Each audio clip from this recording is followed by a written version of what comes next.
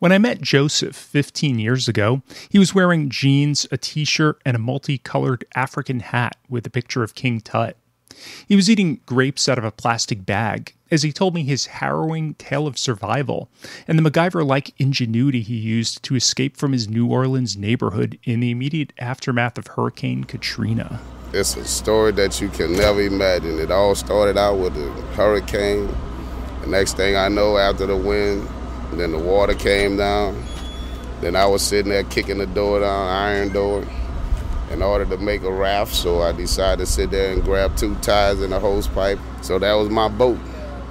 When the night fell, I had to sit there and take a car battery, kick the headlights out, speaker wires, and taped it up, make my own flashlight. The way he talked, nonchalantly listing off everything that had happened, kind of gave me the sense that he'd told his story a million times and was starting to grow tired of it. Like he'd repeated the chain of events for so many people that it now seemed almost as if this had happened to someone else. And it goes on by losing the family right on top of the bridge on Claiborne and Orleans. And they got separated. But in the process of that, I'm in the water five days and four nights looking for them. Going from the Superdome, finding bodies floating in the water, to the convention center, from the convention center to the bus station where they looted it. And I just say I got to get up out of here because it was, it was real, real hectic.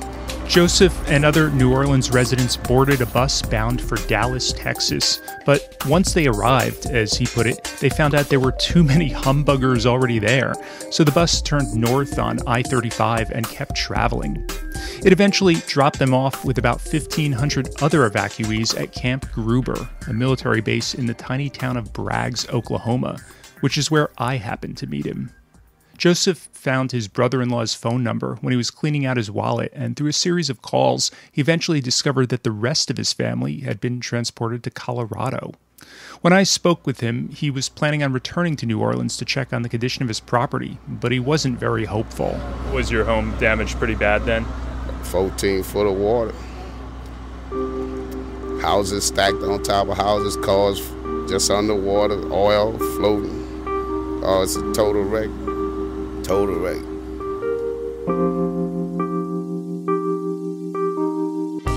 This is Far From Home. I'm Scott Gurian, and you probably missed it amid everything else going on in the world recently, but last week was the 15th anniversary of Hurricane Katrina. So, on this episode, we're staying within the U.S. for a change and going to New Orleans. Now, let me start off by saying I know Katrina might seem like an event that happened a long time ago that has little relevance to the present day, but I think there are actually a lot of parallels. You see, if COVID 19 has reminded us of anything these past few months, it's that when a catastrophic event occurs, it's the poor and vulnerable who often suffer the most, which is something we also saw after Katrina. The other thing is that during normal times, when all is well, we like to believe that we could put our trust in our government, our elected leaders, and societal institutions to be there to give a helping hand if things ever get bad. We assume the folks in charge know what they're doing and have our backs, but all too often, when those systems are actually put to the test during a major disaster, we realize they're not equipped to handle the scale of the problem, and many people end up having to figure things out on their own. You've probably heard about the difficulties many doctors and nurses have experienced during this pandemic trying to get adequate supplies of essential equipment like gloves, ventilators, hospital gowns, and face masks. During Katrina, it was stories of government incompetence, inadequate shelters, and elderly nursing home residents left to fend for themselves. Katrina left lasting footprints on New Orleans that may never be erased, but Unfortunately, I think that for many of us who don't live on the Gulf Coast of the United States, those events have now faded into history. The thing is, this is something we need to remember.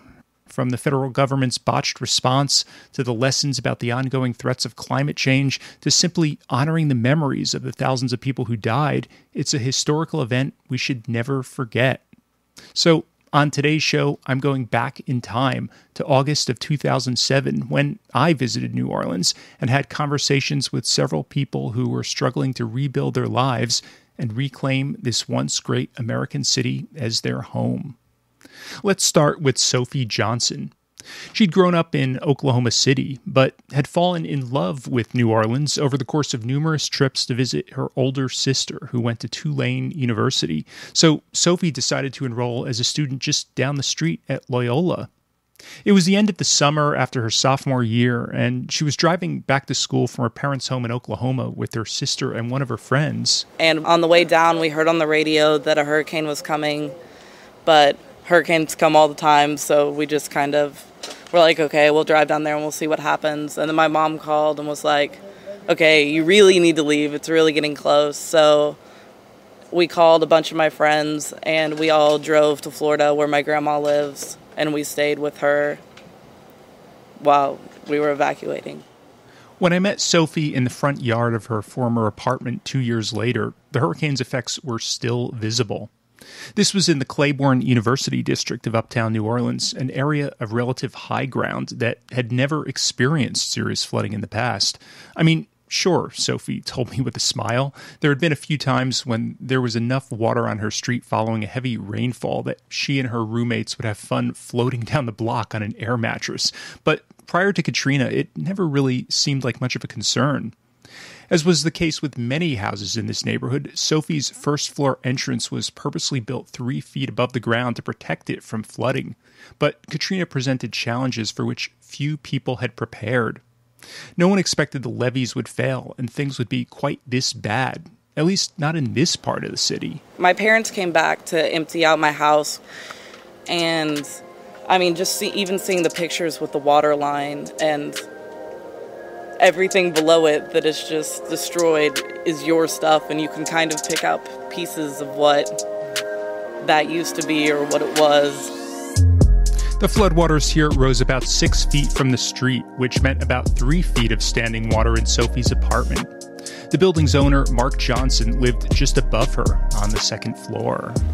Unfortunately, I hate to say this in front of Sophie, when that water hit, it really took all their stuff, and we had to bring it out. And so all you had to do was stack it on the street. And so uh, their pile of their stuff reached up to here because you just above, yeah, about five or six feet. Yeah. so when stuff. you stack it up, and then the worst was the mattresses.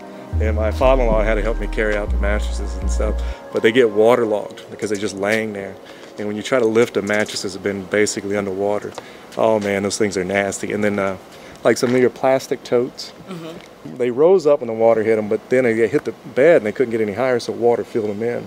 And so when we pulled them out, the water had been sitting there in a month. And oh man, did it have such an aroma about it. It was yeah. like, oh man. We took Vicks VapoRub when you came back and you just kept putting it in your nose so you wouldn't have to smell the stench that was going on. Sophie's parents rented an 18 passenger van, filled it up with whatever of her belongings they could salvage, and drove back to Oklahoma City. She then spent the next several months going through everything, cleaning it off, and getting sick from breathing in all that mold. Sophie returned to New Orleans for the first time four months after the storm to start her spring semester, and she said entering the city was absolutely terrifying. There were almost no streetlights, there were almost no street signs, there were National Guardsmen sitting by their tanks holding guns on the edges of street corners. And I was driving into town, getting off the highway, and I didn't recognize the streets. I had to call my friend and be like, okay, I'm here. How do I get to your house? I don't know where I'm going. It was a very, very weird feeling. And she found there were other ways that the city she returned to was different from the one she had left. No one was normal. No one expected you to return to normal. My teachers would cry in class. Everyone had been affected in a different way. And it was hard because being someone who lost my house and my stuff, if you lived in the dorms, your stuff wasn't damaged. So a lot of people had experienced having to be in another place and like mourning for the city, but not for themselves personally. And so that was kind of a hard thing to deal with because it's even hard not to be jealous when other people have their stuff and you don't have anything and you're just like, I remember when I had a laptop. I remember when, you know. We stepped inside so Sophie could show me the gutted remains of where she used to live. The walls had been removed, and all that remained were nails, wooden beams, and some workman's tools. This was the big living room. That was the side living room. That's the kitchen. Um, this was my room, and that was my bathroom. And then that was my roommate Danny's room. The other bathroom was right there, and then my sister's bedroom is the far back one right there. It's pretty different than what you remember it looking like. Yeah, it seems a lot smaller. I mean, the first time I came in here after the walls had been ripped out, I couldn't even tell where my room was. and so Sandy, the upstairs landlord, kind of had to walk me around and show me, okay, that was that room, that was that room. No one's ever seen a house they lived in like as the frames. It's really it's an awkward feeling.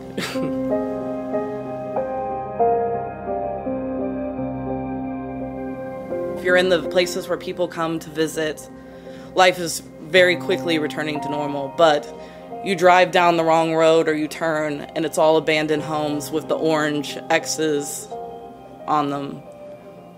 And it's just very weird from area to area how completely different it is. I'm obviously horribly upset by what's happened to me, but when you go and look at other areas, you can't even be upset. I mean, there are people who've lost their lives. Like, compared to that, you're just so fortunate that you can't even stop to realize how upset you are because at least you weren't in that situation. At least I had a car and I was able to leave the city. At least I had someone to take me in when I needed to leave. And things really did just work out way better than they did for many, many people. When I go to other places, it's still really hard. Even going home, when I meet someone new and I'm like, oh yeah, I live in New Orleans, they're just like, why? And that, I mean, that's a hard thing to hear. It's really hard to go other places and hear people say, I don't know why they're rebuilding that city. I don't know. It's your home. It's where my school is. It's where my friends are. It's an amazing city. It's so much a part of history. There's so many interesting things to do here. Like, you always want what was there. That's what you're used to. That's your normalcy. And when it's been taken away from you, especially so suddenly, like your instant urge is to rebuild that normalcy and to be able to get back to your life. And the fact that other people would question that doesn't even make sense to me. But while Sophie was trying as hard as she could to be optimistic, she told me she couldn't help but remain fearful. I love the city and I hope it becomes exactly what it should be, but when I'm finished with school, I do think I'll move because something like that can happen once, but I really don't think I'd be able to handle it happening again. It's a hard reality to realize that it very easily could happen again. It's been over a decade since I recorded that interview, and New Orleans has yet to sustain another direct hit from a storm quite as powerful as Hurricane Katrina. But other parts of the Gulf Coast haven't been as lucky. Just a few weeks ago, Hurricane Laura made landfall near the Texas Louisiana border, killing more than 30 people and causing widespread destruction totaling nearly $9 billion. Forecasters say the next few months will be an extremely active hurricane season with stronger, more frequent, and longer lasting storms. And with climate change causing ocean temperatures to rise, that trend is expected to continue in the years ahead. You know, as I was putting this show together, I was thinking about how this whole experience of living through a global pandemic and not traveling these past six months has made me recognize now more than ever the importance and value of the place I call home. At times like this, it's a shelter from the scary and potentially dangerous world, a place of safety, familiarity, and comfort. I can't even begin to imagine what it must have been like for people like Sophie and the other 800,000 displaced New Orleans residents who no longer had a home to go to after Katrina. Hearing their stories again now, in light of the recent events with COVID 19, I think I have a much greater appreciation for what they went through. Okay, so now let's change pace a bit. I want to tell you a story. This is a story about New Orleans. I want to tell you a story. Cause down here, no one is that important. Here's a little story about Here's a little story about Oklahoma City native and New Orleans transplant Jeff Chambliss. I moved down here mainly because you don't see the type of shows in Oklahoma City as you would here. Um, I came down here actually during the New Year's party for 2000, and it wasn't the party that got me here. It was more seeing all the uh, telephone poles with all the shows and stuff that were coming through New Orleans, whereas Oklahoma City didn't get the variety. Chambliss started making connections in the local hip hop community, and within three years, he'd started his own label, Media Darling Records. The label was doing very well. Um, we did a big tour in 2005 with Galactic, which is a local funk band here, which was very successful for us. We went out for three and a half weeks, which was great. We finished out our few tours, and you know, we had a lot of money invested in the label, and we were about to release three albums. And a month after we had the plans to do all this stuff, you know, the storm happened, and I was actually in Shreveport, Louisiana, doing a show, um, so I got stuck so I couldn't come back.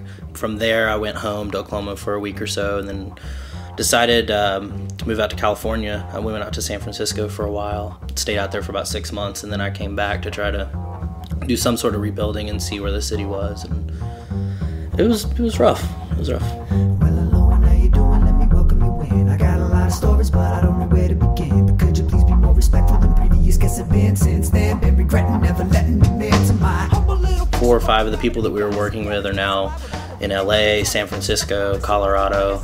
Um, you know, a couple of the kids are still here, but still trying to catch up on money they lost from two years ago still. One of the main ones that we've been doing the whole time is uh, MC No One. You know, he's been the one that's been with us the longest. It was tough, man. I, you know, I left and came back, and I was the first one back from the crew. So for about six months, I was just trying to convince everybody to come back to New Orleans and keep the label alive a lot of them had other options, and, and you know, a lot of them were a lot better off too, where they ended up at. New Orleans isn't always the most hospitable place. Has it been a struggle to kind of get the label back on its feet? Oh, absolutely. Absolutely. Um, one of the main venues that we had worked with, um, Twi-Ro-Pa, um, they had their ceiling fall in, you know, so the building's gone, people have moved on. Um, a lot of new faces at a lot of the new venues, so the people that we worked with before that knew us aren't around. The scene in New Orleans for a very long time, there was there weren't that many people. I mean, for the first year, maybe year and a half, there was, you know, a fifth of what the city was, and it made it a lot harder that the college kids weren't coming back, which was a big part of our audience. You know, we'd worked for years promoting the, the college campuses and getting a fan base around. And before the storm, our shows were to the point we didn't need to promote that much. You know, we had a show, people would come out. Now it's hard to do a show once a month. People seem to be supporting more just the uh, drinking in New Orleans instead of the, you know, music scene itself. The content's actually gotten really good. The No One album is actually, you know, half of it is a lot of Katrina related. There's a lot of influences on there from local artists and, you know, experiences that had happened. So out of disasters comes great things, you know. The first one I wrote after the storm was called Patching Broken Dreams. It started out as a spoken word piece. So I put it to music, and uh, I actually took a bunch of samples from news clips and news reels and that kind of thing from the footage of the storm and uh, spliced it all in there. Um, and I got some of the things from the the convention center and from the stadium just to make it that more personal. You know, I'm not telling my story during the song either. I'm telling just kind of the city story and giving all points of view. So we were doing sound check at a show in Baton Rouge. The big screen behind the bar was playing the news. We weren't all that surprised by what was seen on the screen. That big red spiral headed straight for New Orleans. Seems to me Nature taunts us every season. So many New Orleanians are saying that they're never leaving, even after water begins pouring through the ceiling. It isn't enough to create that pack up and run feeling. But something was different this time. The sky felt alive with that category 5 It's bumper to bumper traffic the next day or two Trying to drive and find a drier, higher ground and make it. So many people stayed because they didn't want to leave And far too many people stayed because they didn't have the means to flee the flying debris. Still we harbored hope, we thought we dodged a bullet Until the levees broke.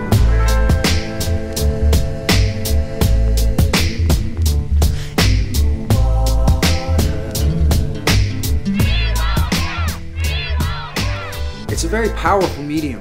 You look at a rapper's lyric page and you look at a singer's lyric page. A singer's lyrics may only be four or five lines, right? For a whole entire verse or even a song. Rappers' lyrics, they're very intricate with the descriptions. It's almost like, you know, you're actually writing out the story. There's a lot more to be said in a rap than there is in a regular song. And when there's that much going on and that many things that need to be said, and you want to be as exact as you can be in your description of it, I think hip hop is definitely the way to go again. A simian costume you'll never see me in. Hip hop music, give me something to believe in again. And it the stitches from this broken hearted New Orleanian and pin it all up Hip hop being such a new musical form, I mean, it's only been around, what, 30, 35 years as rap or hip hop. I think if New Orleans or any other type of problems are going to come around, it's been such a great medium to speak to younger kids.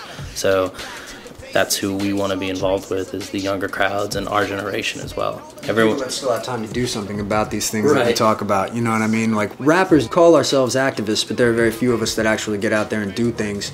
And so we kind of talk about it and hope that the true revolutionaries will be inspired to go do something about it. These days, there's so many artists in New Orleans talking about Katrina, especially hip hop artists. So when you know when it comes down to um, has it changed my music any? No, not necessarily. Um, it's given me a couple of really great tunes. You know what I mean? And and uh, it's definitely helped me out as far as like dealing with the situation. Music is definitely cathartic. I don't know. I, I feel kind of like I have an obligation to stay and uh, you know to help rebuild the scene, not only the city. Shame of a nation. Call it what you will, but I still call it inspiration. Don't forget about us, the people of New Orleans, still down here making music and patching broken dreams.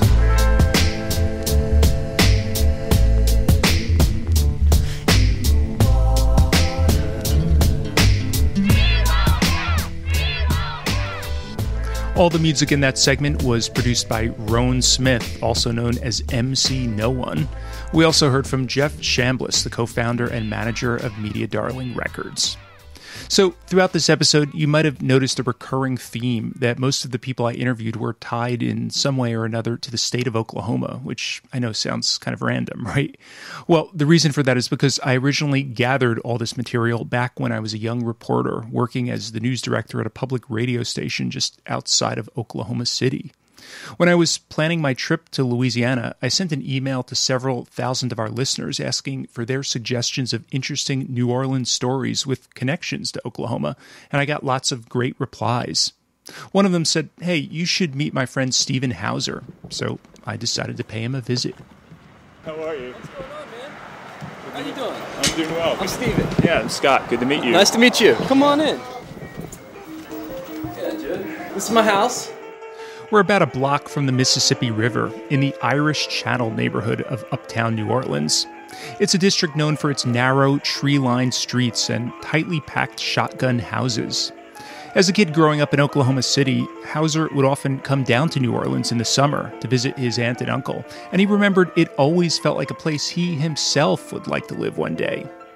Finally, after studying abroad in Spain and going to photography school in California, he got his chance. Three months after Hurricane Katrina, when many people were still leaving New Orleans, Hauser decided to move to the city. What he found was very different from the place that existed in his childhood memories. I remember driving in with my dad, and I remember driving through the rain over the swamps, you know, the Atchafalaya Basin and Whiskey Bay, and it was just a real, you know, ominous feeling. I remember pulling into New Orleans and seeing the darkness and the spotlights. And the song came on the radio very strangely. It was the song Ghost Town by the Specials, just at the right time, you know? And it was a really weird reintroduction to New Orleans post Katrina. This town is coming like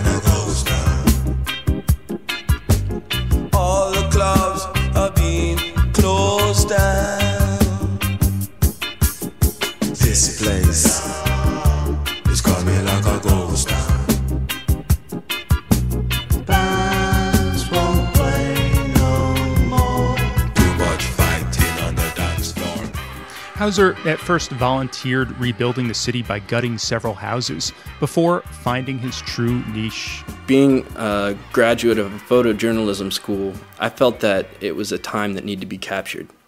And that's what I've been trying to do is capture the rebirth of the city. I mean, you see people who are here to help, people who are here to take advantage, people who are fed up. You see the character in people right now that you probably won't see in a lot of other cities because they haven't been through the same situation. Uh, just tell me kind of more about what is it like being a photographer in New Orleans uh, now in the aftermath of the storm? It's been cool because I've really gotten a chance to get close with people more so than I would anywhere else. People are really willing to share their stories most of the time. And I mean, the main thing that I've really got involved in has been the music it's been really cool to see all these homegrown New Orleans musicians who got scattered throughout the country or just lost hope, didn't have gigs, to see them come back up. Framed photos of some of those musicians covered the white walls of Hauser's living room, along with pictures documenting the event with which New Orleans will forever be linked. This is a photo I took at the lakefront, and this is where the wall of water was I don't even know how high. People got trapped in their attics. And you can see the refrigerator has been completely overturned. Um, there's mold on every single inch of wall. It's just a mess. And all I can think of is the smell. that's a photo of the Ninth Ward. Taken from the air. Yeah, that's. I took that from a helicopter. I have a friend who's a helicopter pilot. That's a convenient thing to have if you're a photographer. That was before it had been cleaned up. The debris was still everywhere. I mean, it looked like an atomic bomb had gone off, really. What happened is um, you see this barge, it kind of looks like Noah's Ark, and it had slammed into the levee, and just like a bathtub drain, just all the water went into the lower ninth ward. And these are all houses right here next to the levee, and they're completely removed. Actually, they're not there. They're five blocks away. They've been swept over. I imagine there's kind of a tension between, you know, on the one hand, mm-hmm. uh, these people who live there wanting you to capture their images and um, get them out to the rest of the world. On the other hand, they don't want just tourists, people I, coming in. They get really upset when people drive through as tourists, which I completely understand because um, that's what the French Quarter's for, you know. People feel like they're being exploited. Yeah, I think so, and uh, that's understandable. You know, I try not to go uninvited, and at this point, I don't ever want to put a camera in someone's face. If somebody wants to share their story with me, I guess the whole point of doing your legwork and meeting people is gaining the trust and having the respect for them. Photographer Stephen Hauser. So we've heard a range of stories about how Hurricane Katrina affected people, and I can't help but draw comparisons to the present day. In 2005, it was news footage of storm survivors standing on their rooftops waiting for helicopters to rescue them amid the rising floodwaters that put New Orleans in the world's spotlight. More recently, the story was that in the aftermath of Mardi Gras, New Orleans experienced the fastest growth of coronavirus cases in the world. Both events, Katrina and COVID, upended people's lives and brought negative attention upon the city, but at least the hurricane was an isolated regional disaster, so people in other parts of the country could chip in to help. Plus, the storm passed quickly, so residents could start cleaning up the damage right away and try to move on with their lives. Unfortunately, the current situation is much more prolonged and widespread. Money alone won't solve it, and it's not entirely clear when it will be over. The good news is that the number of new COVID cases in Louisiana appears to have dropped in recent weeks to less than half the 2,000 or so daily cases that were reported earlier this summer, but it's obviously way too early to celebrate. In fact, recent images of large groups of maskless people roaming Bourbon Street during Labor Day weekend have local officials bracing for another spike in the weeks to come. Well, this has all been pretty sad and disheartening, so let me leave you with a story that's a bit more upbeat. It's the unusual tale of a New Orleans woman whose doctor's office got destroyed during Hurricane Katrina, but then she got some help from an unexpected source. A chance encounter with a fertility doctor who happened to be visiting from Oklahoma. I'm uh, David Kallenberger. I'm program director of the Bennett Fertility Institute at Integris Baptist Medical Center. My name is Andy Knox. Born and raised in New Orleans, I worked at Galatoire's, which is a very famous restaurant in New Orleans. And um, my husband and I were trying to get pregnant for about three years. I was seeing a fertility specialist. He came in one night and brought in a drug rep. Her name is Myra Crawford. And we just hit it off. She's like, Your next go round, I'll give you your drugs, you know, I'll take care of that for you. And I was like, Oh, well, that's great, you know we were in New Orleans meeting um, a friend of ours who happens to be a drug rep that uh, sells fertility drugs, and we were having breakfast at Galatoire's, and she had asked for Andy Knox to wait on us, who we assumed was a friend of hers.